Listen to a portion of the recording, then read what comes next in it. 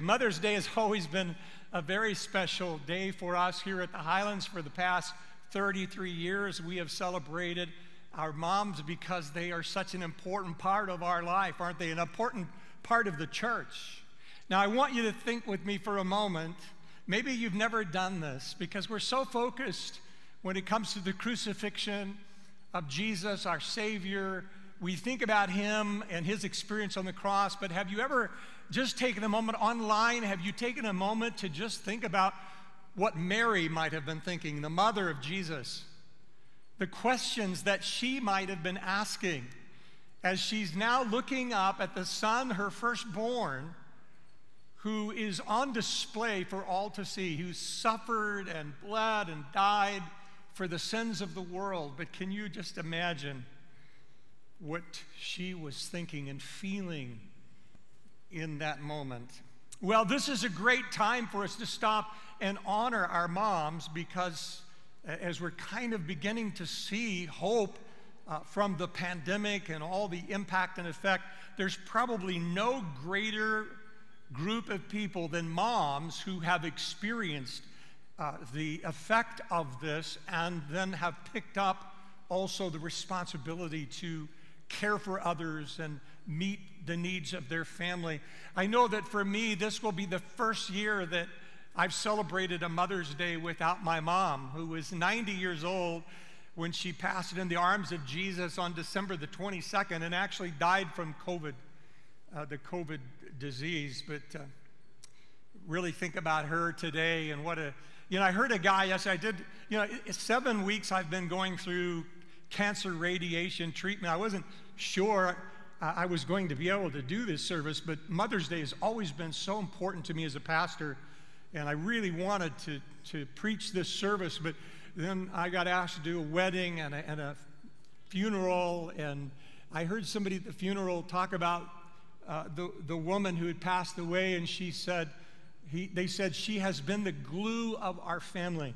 And I thought, boy, that is just a great, great way to uh, think of our moms. They, they really are the glue. And so we recognize them. How many of you have ever cringed when your child maybe said something inappropriate in public?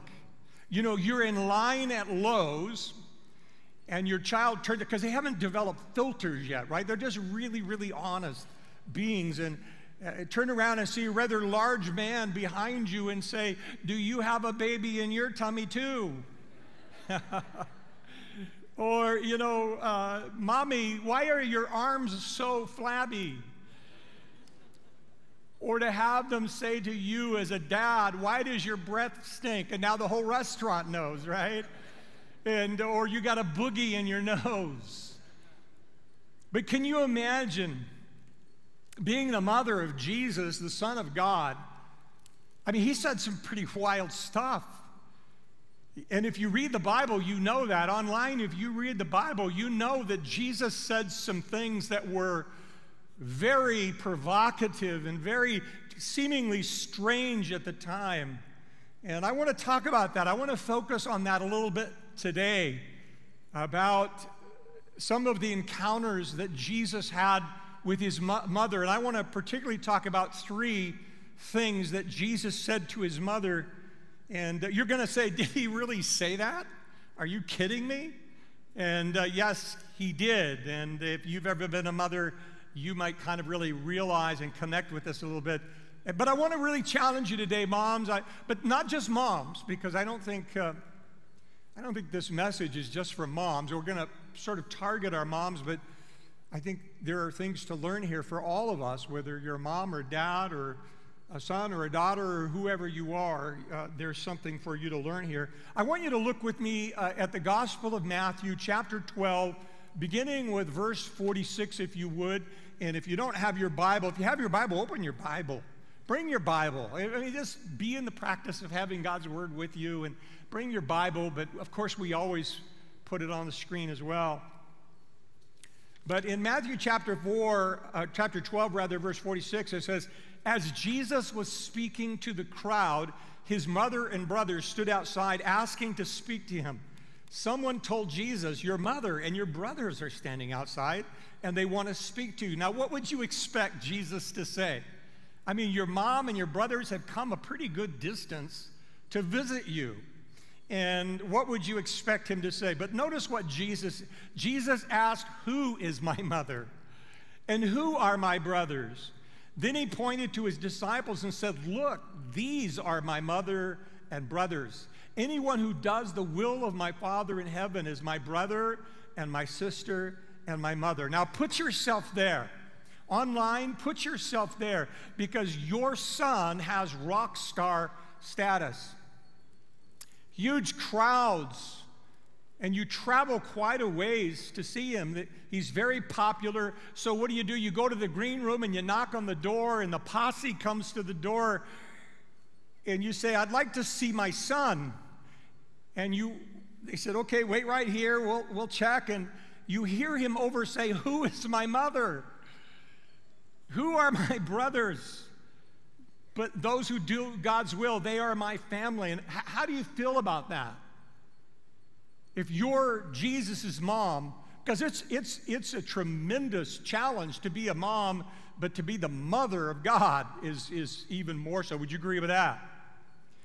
But she doesn't get offended. She doesn't walk away with hurt feelings. Now, we know from other passages that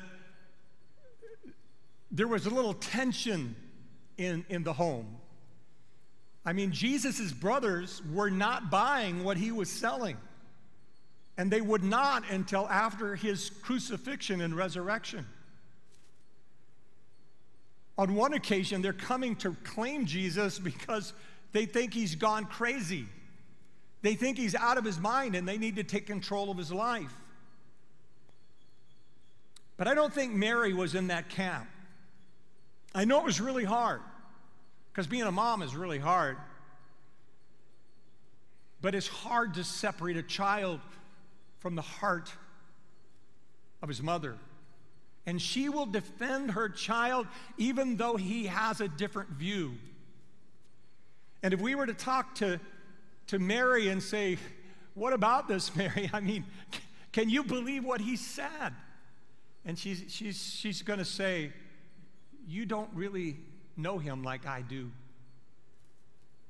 You, you haven't watched him. I mean, at first I took things a little personally, but then I began to realize that he's always teaching. He walks into the garden with his guys and he'll pick something up and say, The kingdom of heaven is like this. So everything was a teaching moment. I, I don't take it personal anymore.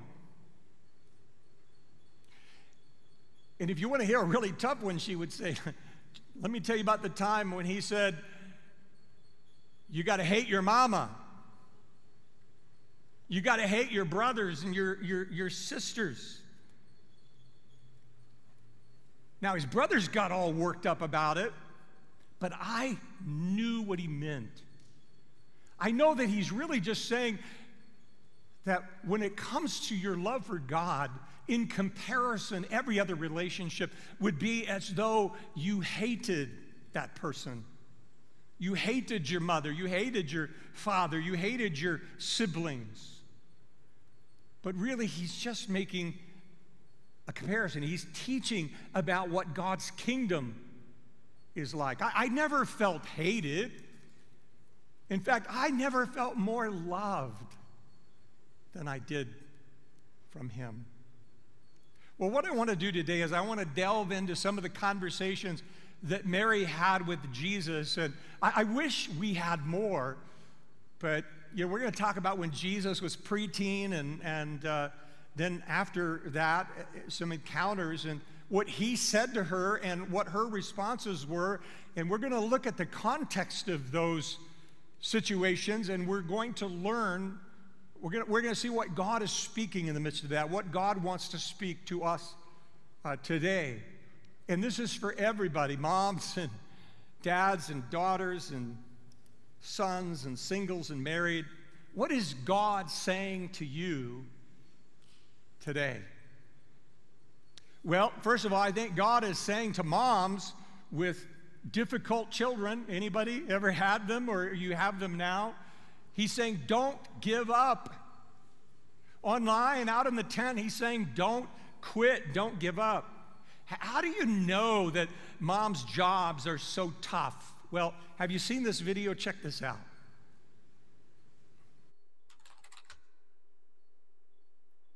Just give me one second. Thank Sure. you. Sorry. Uh huh. Hey. Hi. Two minutes. Thank you. Hi. Good afternoon. Sorry about that. oi.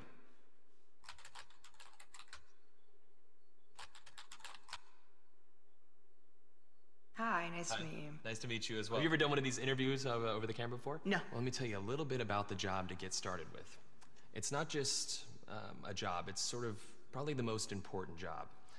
Uh, the title that we have going right now is Director of Operations, but it's really kind of so much more than that. Responsibilities and requirements are, are really quite extensive. Uh, first category for the requirements would be mobility. This job requires that you must be able to work standing up most or really all of the time, uh, constantly on your feet, constantly bending over, constantly exerting yourself, a high level of stamina. Uh, uh okay. That's a lot. For how many, like, for how many hours? Uh, 135 hours to unlimited hours a week. It's basically 24 hours a day, seven days a week. I'm sure you'll have a chance from time to time to maybe just sit down here and there, yeah? Uh, you mean like a break? Yeah. Uh, no, there are no breaks available. Is th- is that even legal? Oh, yeah, of course, yeah. Okay. Yeah. So like no lunch. You can have lunch, but only when the associate is done eating their lunch.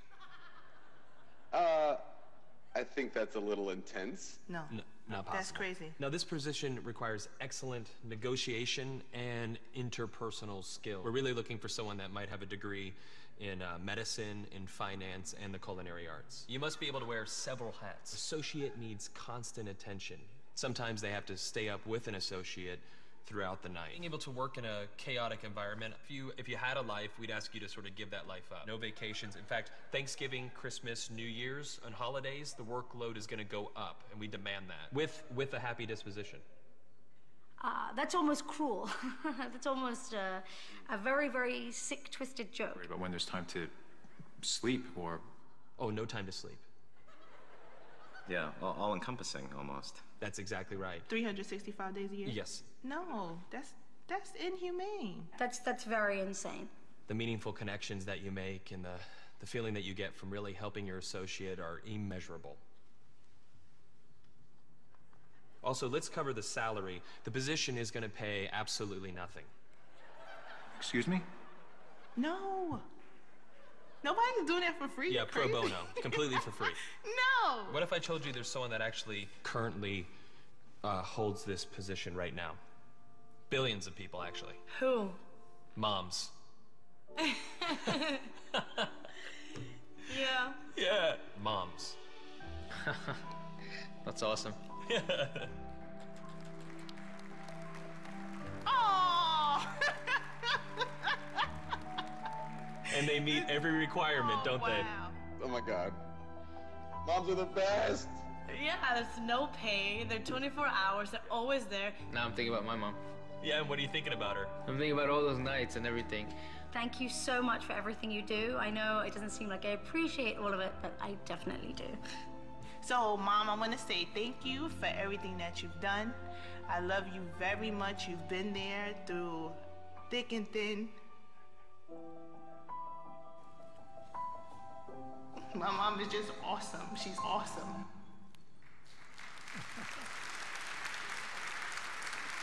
Isn't that just awesome? I mean, mom's jobs has got to be the most difficult job in the whole wide world, especially when you are the mother of God. Would you agree with that? And I want, I want you to imagine uh, the scene where they have traveled 80 miles on foot in a caravan because during that time uh, you had to travel in groups because of the fear of being set upon by robbers and thieves. And, and so they would travel because there was just lots of open area uh, to be attacked. And so they would travel in a caravan with friends and neighbors and family. And this would have been a three day trip from where they lived, from Nazareth to Jerusalem. Now, Jerusalem wasn't a huge, huge city, and it was sitting on a hill But whenever they had the Passover meal celebration in Jerusalem, it would grow by like three times or more. And so, very, very quickly, uh, the, the city would just be crowded. And, uh, you know, it's exciting to go on a trip. Anybody love going on a trip? I love preparing for a trip and look forward to it, and you're excited about getting there. But after a while, it just kind of, you know, gets tiring and and, and the, uh, the, the excitement fades really, really fast. And then when you've been there and you're coming home, now you're dirty and you're really tired and you just want to get home and, and, and sleep and, and take a shower. But here they've, they've come, they've experienced all the da- dancing, all the celebrating and declaring God's goodness, and they're on their way home. And the first night in camp, they are preparing the meal, and Mary says, Where's Jesus? Have you seen Jesus? And, and Joseph says, No, he's probably hanging out with his cousins. And so they go and look for him, but he's not in the camp. And so they realize he has not come with them on this journey home. And so they know they've got to go back, but they can't go back now because it's nighttime and you can't travel at night. There's no lights, there's no real roads, paved roads like we have today. And so they know they have to sleep through the night, but they, but they actually not going to sleep, right? their son, their 12 year old son, is missing, and, and they're not going to be able to sleep. So they get up early the next morning and they hustle off to Jerusalem and they're looking through the city. This, this beautiful city of God, they're looking through it, all of its winding, very confusing streets. We've been there many times. In fact, by the way, uh, we want to tell you that we're going back. Pastor Jeremy and Pastor Amy, we're going back uh, this year in March, actually, this coming year in March. So if you want to go with us, we've been about seven, eight times, and we'd love to have you. This is going to be an absolutely fantastic trip. So if you're interested at all, let us know. We'll put you on a list, and as soon as we get the information, we'll, you'll be the first uh, to get it. But they go back and, and they're in the city and they can't find, three days they're looking for Jesus. Now, picture your preteen, right? You, you can't find him. For, have you ever lost your kid and couldn't find him? I remember when Terry and I were in Disneyland and I went into the restroom and came out and I said, Where's Jeremiah? That's our firstborn son. He's just a little guy, but he's very adventurous and he had no fear. He would just wander off. And she said, Oh my goodness, where is he? He was here just a second ago. And we looked for 15 minutes and we were absolutely scared to death. And we were ready to go to security when all of a sudden, here he comes, just walking along like nothing happened, you know. And, uh, but we've all kind of had that moment. We held our breath. I mean, he's been kidnapped. Is is he been sold into slavery. But finally, notice with me in Luke chapter 2, verse 46, it says, Three days later, they finally discovered him in the temple, sitting among the religious teachers, listening to them and asking questions. All who heard him were amazed at his understanding and his answers. His parents didn't know what to think. Son, son I mean, how would you say it, Mom? Come on. You, haven't found your preteen son for three days. You've been looking, well, how are you gonna, you're not gonna go, oh, son. You know, it's like, son! His mother said to him, Why have you done this to us? Your father and I have been frantic, searching for you everywhere. So, some of the smartest people in the whole world uh, have been utterly amazed with their son, and, and she's not impressed with any of that. She is happy she found him, be sure about that, but she's also furious with him that he's done this to them. And, and then, if that wasn't enough, check out his response. Come on, mom, put yourself in this place. Okay? Now, look, notice what he says. But why did you need to search? he asked. Just, so, I mean, at that point, she's like over the top. Only moms would understand this. She's over the top now what she wants to hear, uh, that's not what she wants to hear. She, she wants to hear, Mom, I'm so sorry. I lost track of the time. Please forgive me. I'll never do it again. But notice, he says, Didn't you know that I must be in my father's house? But they didn't understand what he meant. Have you ever been there? When your teen or preteen gave you an answer to a complicated question and you didn't understand? Have you ever had a team that you didn't understand what they were talking about? Come on, let's see your hands. Yeah, all the time. They didn't have a clue. Doesn't make sense. So, you know, moms, this might be a difficult season for you right now. You're wondering how you're going to keep up with this. How you're you going to keep up? You, you, you, you are not convinced that you are living up to expectation of raising your kids, especially in the midst of the, the, the challenges of, of coronavirus. You watch this video that we just saw together and you're saying, That's me. That's exactly it. I'm working full time, maybe outside the home. I've got a preteen that's struggling with transition and making poor choices. And here's what God says to you this morning. Here's what God says to you online and out in the tent. God says to you, don't give up. Don't quit. Terry and I had seven children. There were five girls and two boys. I kind of wish that ratio had been a little differently because girls can be a challenge, I want to tell you, for a father. And especially when it comes to wedding times and you got to pay the bill, you know. Um, we have 16 grandchildren, nine boys and seven girls. I want to tell you, I didn't, uh, people who've been around a long time, they know this to be true. I didn't do a lot of parenting series in the early going because I kind of wanted to see how it turned out. You know, you, I don't want to declare yourself an expert, you know, before, you know, the proof is in the pudding, right? And many of you are watching the pudding right now. Maybe I'll get off into doing some parenting teaching now because all of my kids love Jesus. They're all serving the Lord. And I think that's always a victory, isn't it? I mean, it hasn't always been great, it hasn't always been perfect, but they all love Jesus. But here, here's what I think the Lord would say to you. If you're going through a tough time, whether it is related to, to, to raising children or not, God would say, This too shall pass. This too shall pass. You know, often isn't it true we get focused on two or three little uh, kind of insignificant matters or, or situations, and, and we become overwhelmed with that because we're, we're focused in on that. And we just need to understand this stuff is going to pass. It, eventually, it's going to, we're going to get beyond it. And Mary responds.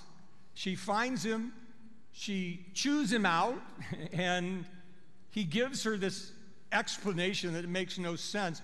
But it got better. What's this? What's this? Online, watch this. Luke chapter 2, verse 51. Then he returned to Nazareth with them, and, and moms, you might want to underline this, was obedient to them. That's so cool. Isn't that great when your kids finally get it?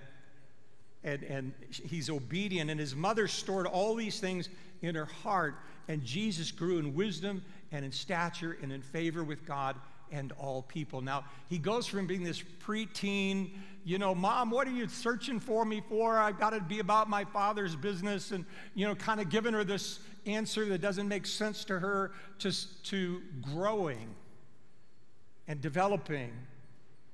He grew in wisdom, he grew in stature with God and with, with his relationship with, with other people. I, I think what God wants to say to, to moms. I think what God wants to say to you and me uh, online, what God wants to say to you uh, today, that don't give up. There's going to be better times ahead. Even in difficult circumstances, there is something, there's the next thing that God has for you, and it's just ahead. Now, the next thing I think that I want us to focus on uh, in the encounter between Jesus and his mother is that moms experiencing a victory need to cherish that moment. You might not say, you might say, you know what, right now things are just really good for me and, and my kids are doing well, we, we, our relationship is good, everything's going smoothly. And if anything, during the COVID, we've gotten closer together. And, but you just need to cherish that moment. As a parent, even with difficult children, there are a lot of wins. But many times we get, we get preoccupied with the, the minuscule nuances of what's going on, and we miss the greater thing. We miss out entirely on the greater thing that God is doing among us. Would you agree with that? We do that all the time. I, I was uh, talking to one of my grandsons, and I said, How's it going, bud? And he said, uh, not so good. I said, Really? I said, What, what have you been doing today? We went to the zoo. I said, what is not good about the zoo? Elephants and, you know, gorillas and, you know, all kinds of, that, that sounds like a fun, well, I had a, I had a runny nose. I had a, my throat was sore. You know, he came up with about three or four things, you know, that were kind of not good things. But it's like he missed the whole, the whole point. I mean, he missed the whole, focusing on three things that weren't good, he missed the celebration of what was good. Isn't it wonderful when a child finally learns to smile? How many of you love the day when your kid learned to feed themselves? Wasn't that a great accomplishment? Uh, they learned to use the toilet. They finally figured out this math thing. The ability to demonstrate compassion. Maybe they came to you and asked you to tell them a Bible story or to pray. As a teenager, you listen to them and realize they're finally getting it. And you celebrate and you cherish that moment.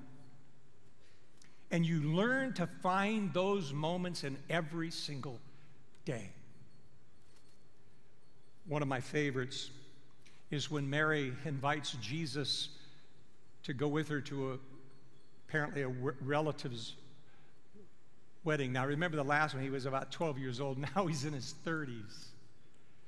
And he's just, he's just put his posse together.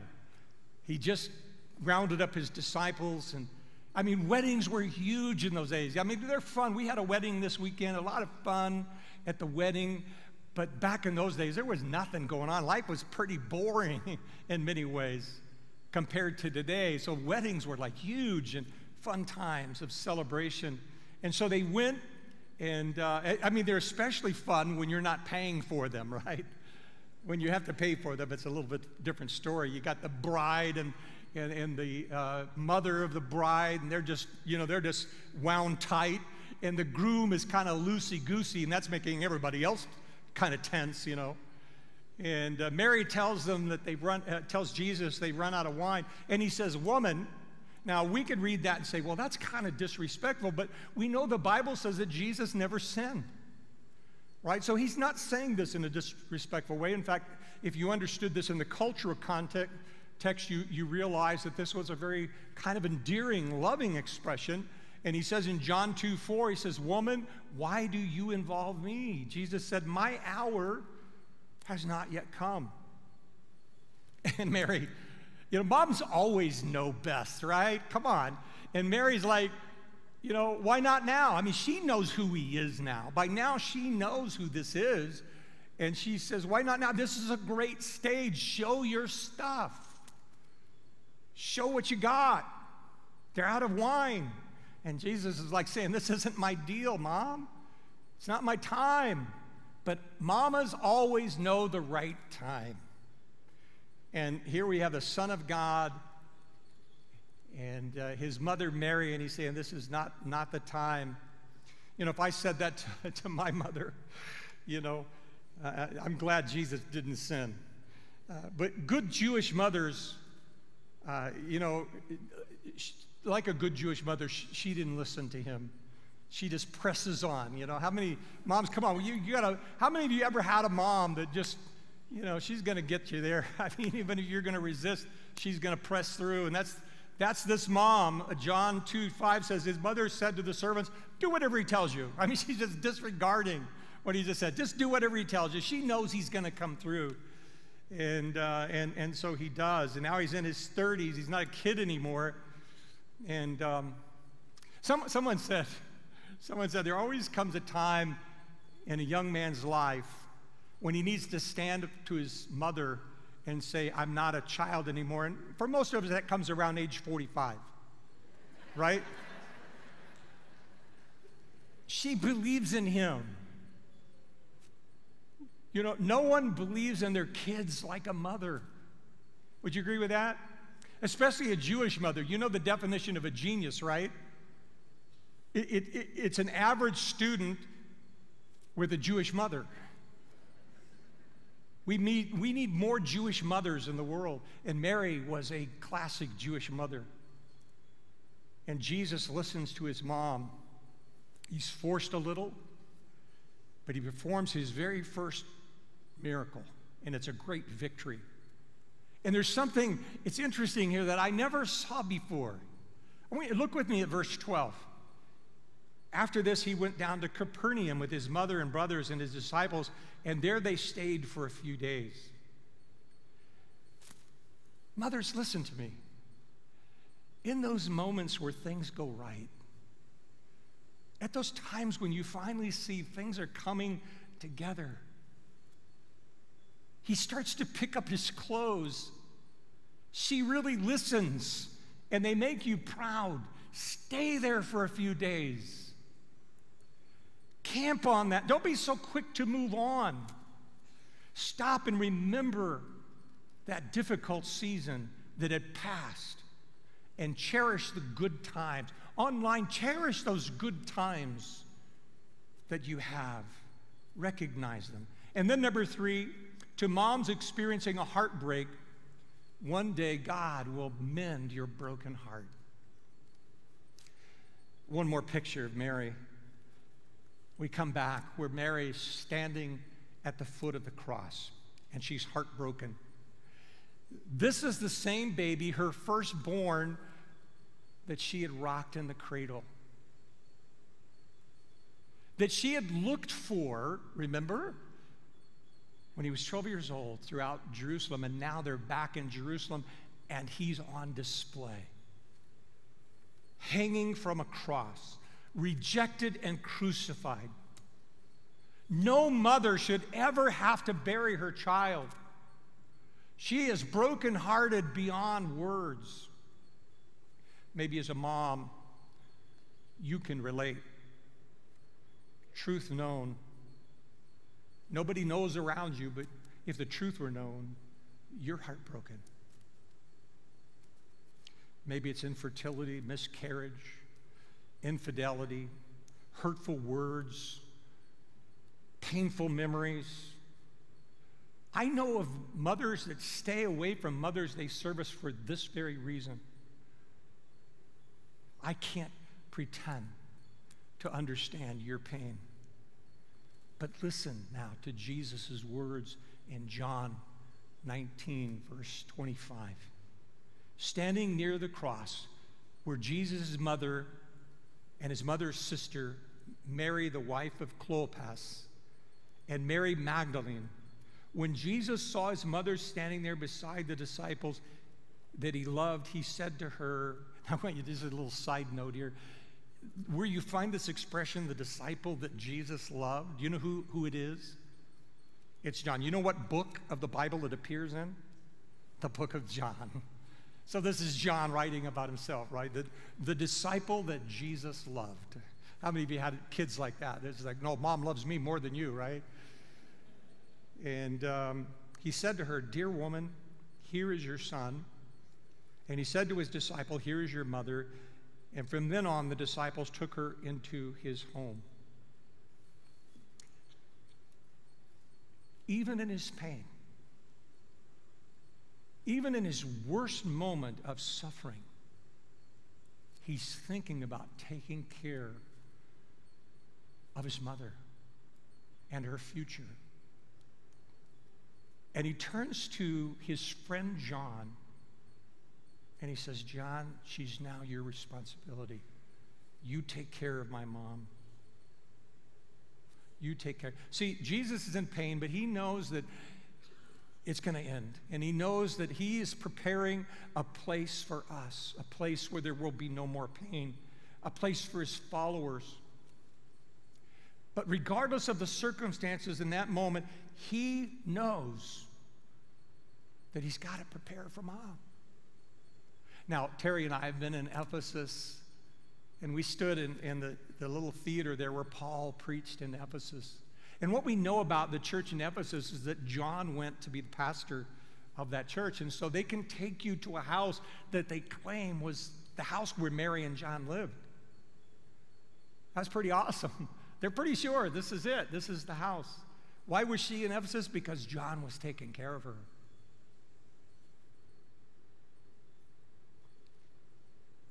What provision does God make for your pain? Let me show you.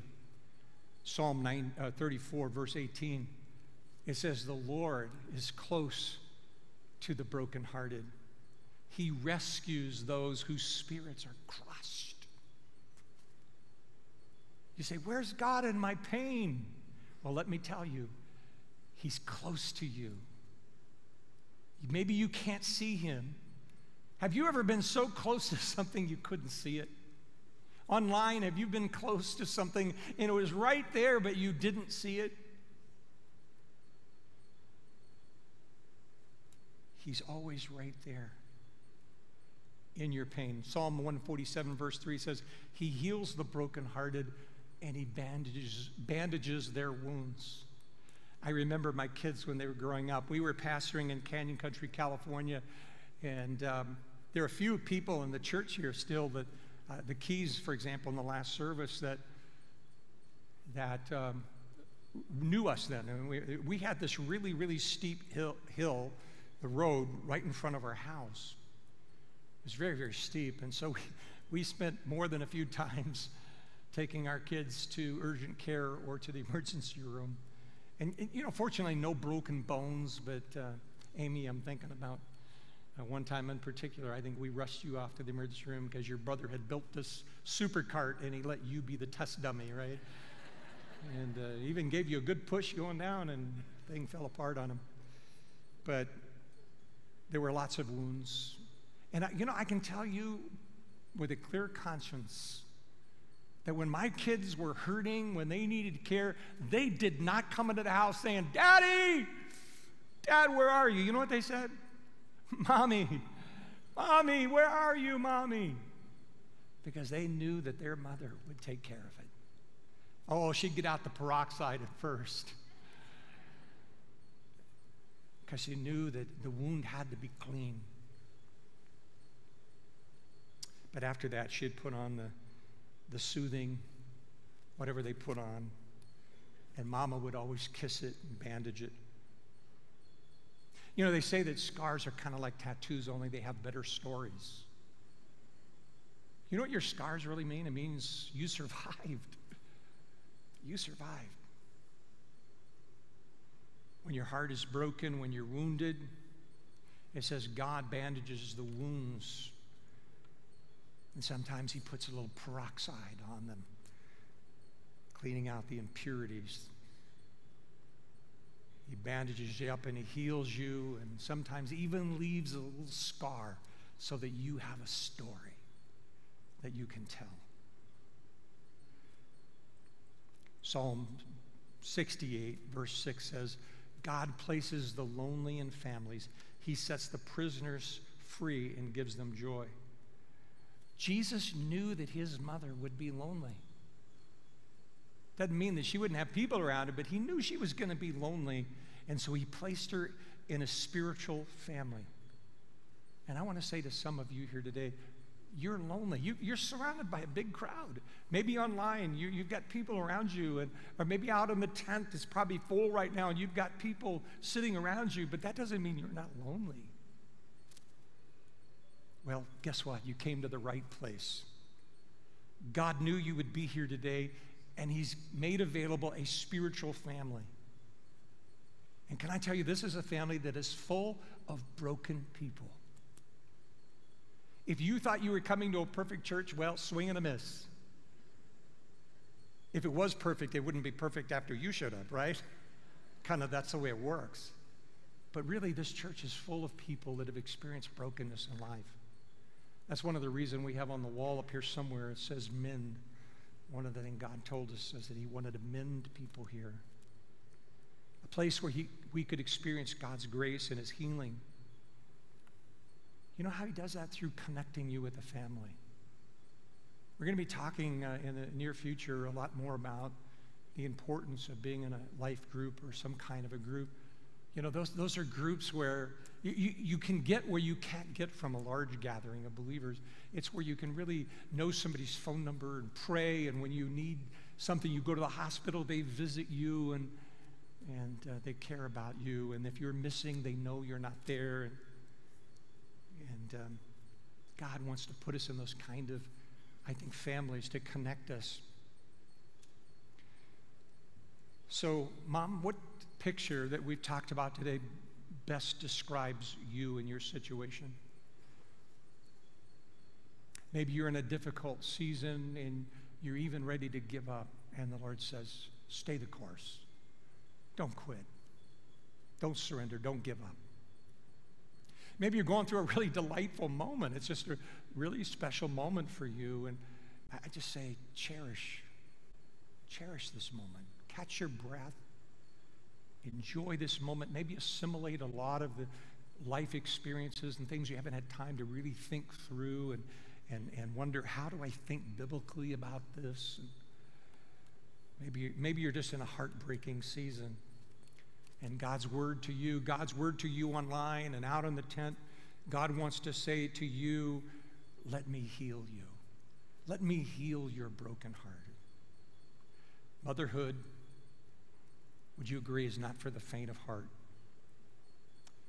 But we at the Highlands want to walk with you and we want to celebrate you. And, but more than anything, God will never leave you, He will never forsake you.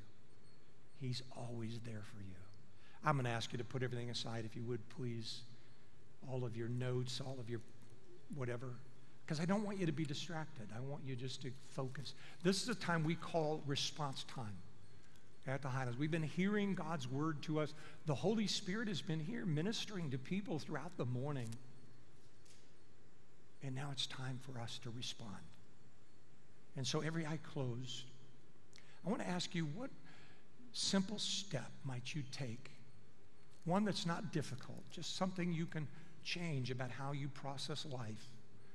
Maybe it just means when you're when you're really in a hard time that you just you don't focus on just the hard things. You, you really look for what's really going on, the bigger picture. Or if you're in a really great moment of your life, it's just never been better for you, that you would take time to just cherish that and just bask in the glory of that. Maybe share, because we always multiply what we have when we share it with others. Maybe you're just flat out heartbroken right now.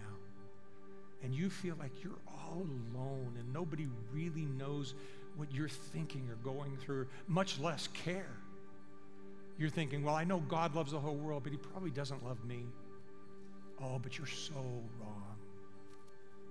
Would you just, like Paul the Apostle tells us to, would you just capture those thoughts and just say, those are lies?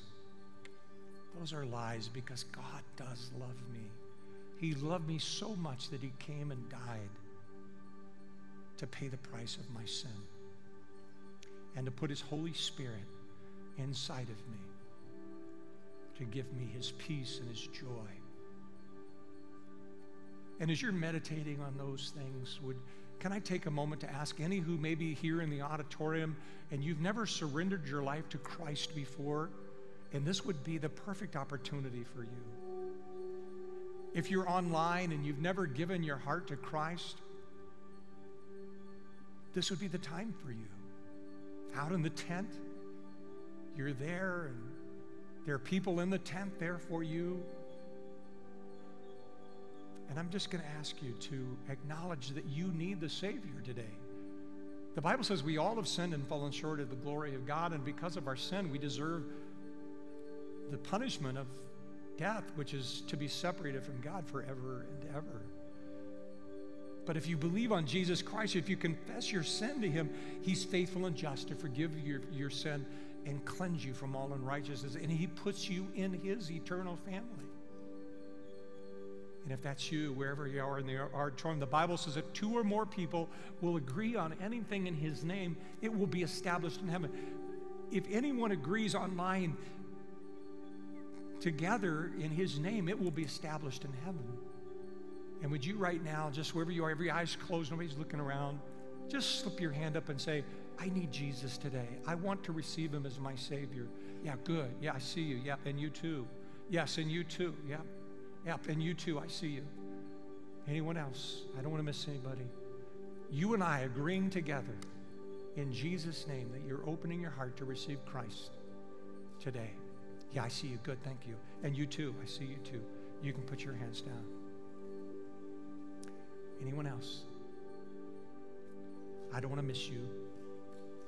If you raised your hand, you're online, you raised your hand, or maybe you didn't raise your hand, but you, in your heart, you raised your hand, or you're out in the tent. Would you pray a simple prayer with me?